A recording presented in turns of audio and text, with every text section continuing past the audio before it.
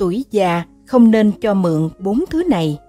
Kính chào quý khán thính giả đang theo dõi kênh Triết lý cuộc sống. Quý vị thân mến, khi chúng ta về già, cuộc sống của chúng ta sẽ xảy ra muôn hình vạn trạng và không ai biết được sẽ như thế nào.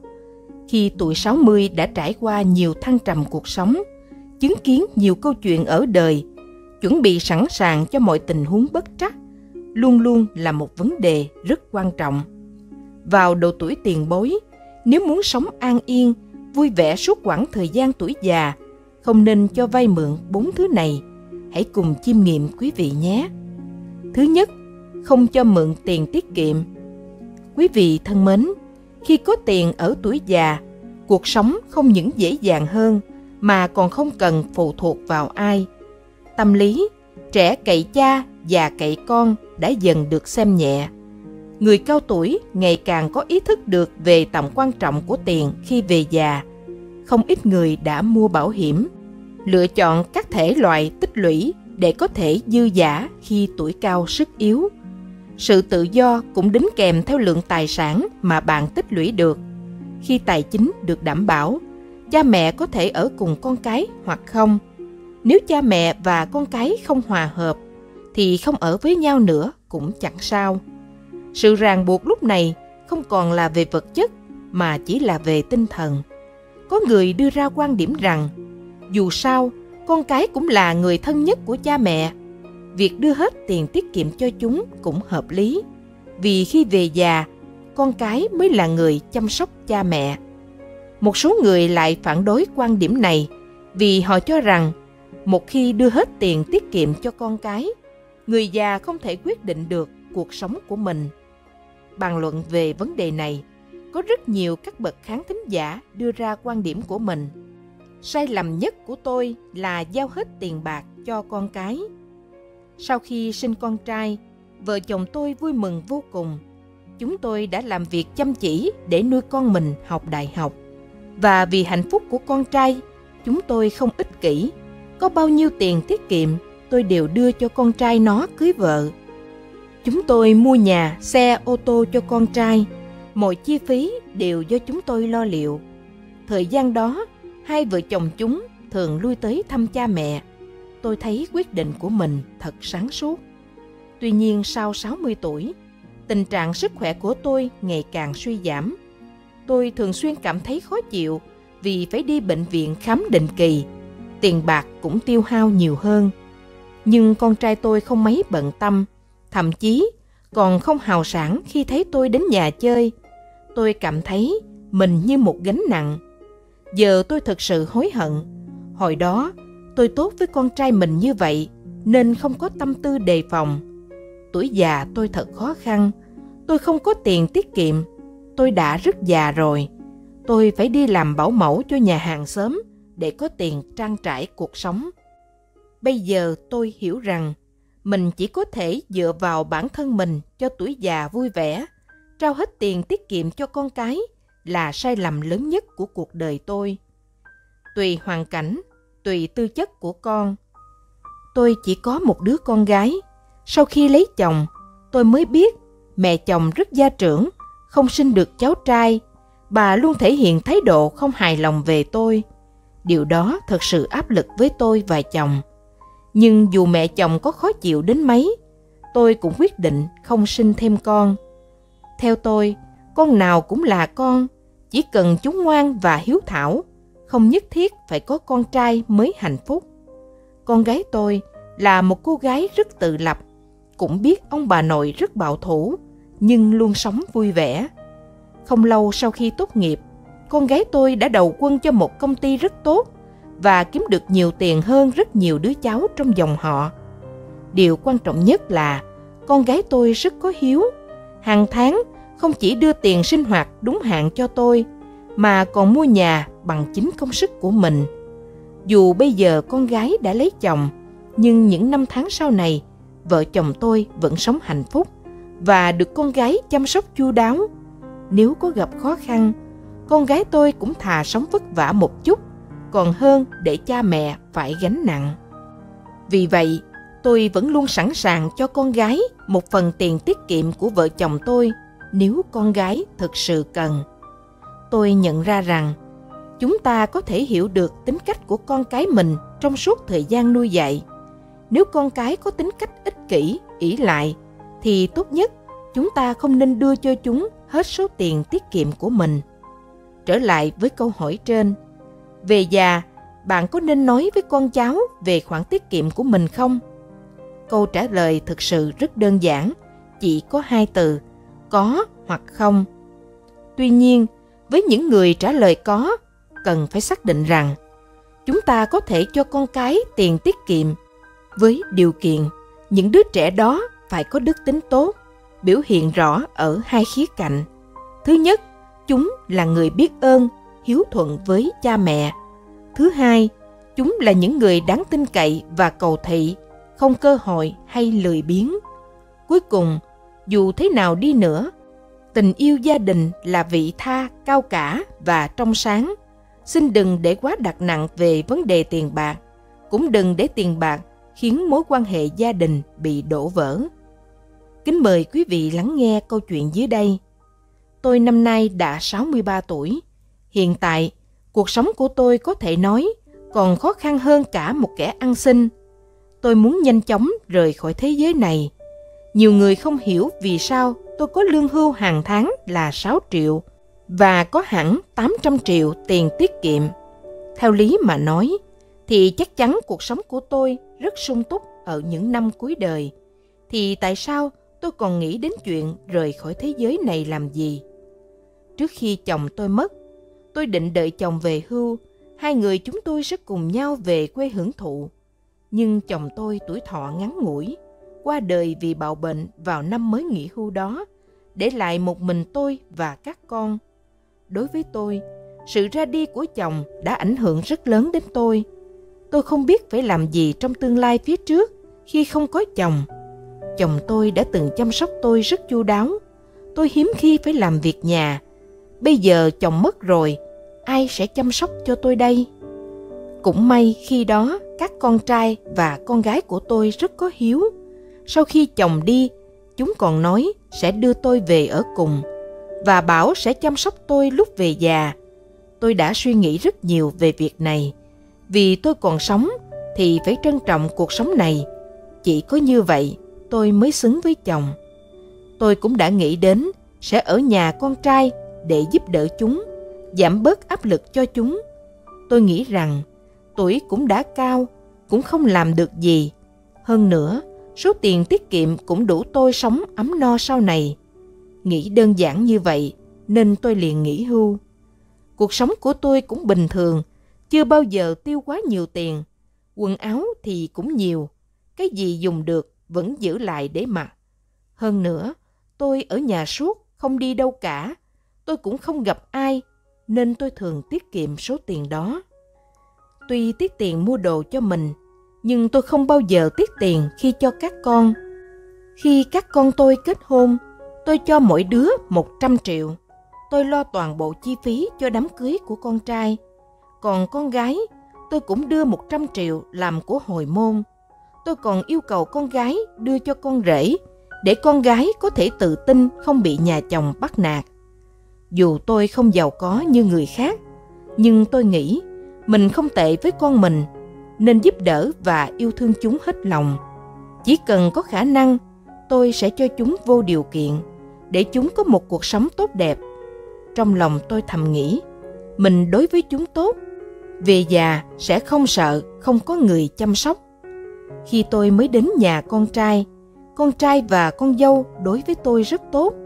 Ngày nào chúng cũng hỏi tôi muốn ăn gì, rồi chúng sẽ ra ngoài mua và thường xuyên đưa tôi đi chơi, đi mua quần áo, giày dép. Tôi rất cảm động và cảm thấy đứa con trai này mình nuôi không uổng công. Hơn nữa, nó còn cưới được một cô con dâu tốt. Sau này, con trai và con dâu đến hỏi chuyện tiền bạc của tôi. Tôi thấy chúng đều là con của mình, cũng không có ý định giấu giếm chúng, nên tôi đã thú nhận rằng bản thân có 800 triệu tiền tiết kiệm và 6 triệu lương hưu hàng tháng. Có thể là sau khi biết tôi có nhiều tiền như vậy, con trai tôi không đưa tiền sinh hoạt cho tôi. Mỗi lần tôi ra ngoài mua đồ ăn, đều do tôi tự trả. Tôi không quan tâm đến bất cứ thứ gì. Chúng là con của tôi, nên tôi có thể không tính toán so đo. Ngoài ra, khi tôi đến đây, tôi đều làm tất cả việc nhà và tôi kiêm luôn cả việc chăm sóc các cháu. Khi chúng đi làm về, chúng chỉ việc ngồi vào bàn ăn cơm nóng hổi. Tôi nghĩ tôi đã làm rất tốt như bao người mẹ khác. Sau này, tôi mới hiểu con dâu chiều tôi là vì tiền của tôi. Cho đến bây giờ, khi tôi không còn gì có thể lấy được nữa, nó chỉ muốn đuổi tôi đi nhanh. Không ngờ nó lại là loại người như vậy, tiêu xài hết tiền của tôi. Tôi đã làm việc chăm chỉ mà không một lời phàn nàn, thế mà nó còn soi mói, trách móc suốt ngày. Điều khiến tôi đau lòng hơn nữa là sau khi chúng có cuộc sống tốt, con dâu đã thẳng tay đuổi tôi ra khỏi nhà. Nó bảo rằng bố mẹ nó sẽ sống ở đây lâu dài, nếu tôi ở đây sẽ rất bất tiện. Chúng đuổi tôi ra đi, bây giờ tôi biết sống ở đâu. Tôi đã dốc hết tiền bạc cho chúng, nhà ở quê cũng bán rồi, còn biết đi đâu được. ốm đau không dám xin tiền con cái, nên không có tiền mua thuốc chữa bệnh, lại không ai chăm sóc. Nhiều lúc nghĩ đến con, tôi chỉ muốn khóc. Sao tôi lại có thể sinh ra hai đứa con tệ bạc này được cơ chứ? Tôi đã cho chúng nhiều, nhưng lại không có được sự đền đáp nào cả. Thật thất vọng. Điều này làm cho tuổi già của tôi trở nên thật kinh khủng. Và tôi biết rằng mình đã sai. Nếu tôi không nói với chúng về khoản tiền tiết kiệm của mình, thì tuổi già cũng chẳng thành như thế này. Tôi thực sự ân hận vì sự việc này. Nếu biết trước điều này, dù con trai có oán trách thế nào, tôi cũng không bao giờ mềm lòng mà bán căn nhà cũ đi. Mặc kệ vợ chồng chúng tự lo liệu. Về già, bạn đừng giống như tôi. Bạn phải giữ chặt tiền của mình. Và khi con cái hỏi bạn có bao nhiêu tiền tiết kiệm, thì cũng đừng nói với chúng. Nếu không, bạn sẽ hối hận cả đời. Thứ hai, không cho vay mượn giấy tờ quan trọng. 20 năm trước, chồng bà Hương cưỡng sạch tiền trong nhà để đi theo nhân tình, bỏ mặt hai mẹ con ở lại quê nhà với căn nhà trống hoác. Không muốn ngày ngày phải sống với ký ức tuổi nhục ấy, bà đã bán nhà và đưa con lên thành phố, làm đủ mọi nghề từ sáng sớm đến nửa đêm để kiếm sống. Đến khi con gái bà lên 10 tuổi, chắc chiêu được ít vốn liếng, bà Hương cũng mua được một căn nhà nhỏ cuối ngõ để hai mẹ con có chỗ chui ra chui vào. Không ngờ hơn 10 năm sau, nhà nước mở đường, nhà bà may mắn được ra mặt phố. Từ đó, bà không còn phải lăn lộn làm thuê nữa, mà mở cửa hàng bán ngay tại nhà. Tiền lãi cũng đủ cho hai mẹ con sinh sống. Hai năm trước, con gái đi lấy chồng. Ngay từ lúc hai đứa mới yêu nhau, bà Hương đã có linh cảm cậu bạn trai này không được ngay thẳng đàng hoàng nhưng dù bà có khuyên kiểu gì thì con gái bà cũng không nghe, nhất quyết bên vực cậu ta. Vậy là dù không muốn, bà vẫn không thể ngăn cản con gái mình lấy cậu ta làm chồng. Tuần trước, hai vợ chồng con gái đến nhà bà ăn cơm, rồi khẩn khoản nhờ bà cho chúng nó mượn sổ đỏ để thế chấp ngân hàng vay 2 tỷ đồng lấy vốn làm ăn. Bà Hương không biết các con định làm gì mà cần số tiền lớn đến như vậy và nhỡ nếu chúng làm ăn thất bại, ngân hàng tịch thu nhà thì bà biết ở đâu. Nghĩ vậy, nhưng nhìn ánh mắt khẩn khoản của con gái, bà lại không đành lòng. Bà Hương đồng ý mang sổ đỏ ra ngân hàng cùng vợ chồng con gái. Tuy nhiên, sau khi nghe nguyện vọng của gia đình và phương án kinh doanh của cậu con rể, bà Hương đã được một cán bộ ngân hàng gọi vào phòng riêng và tư vấn.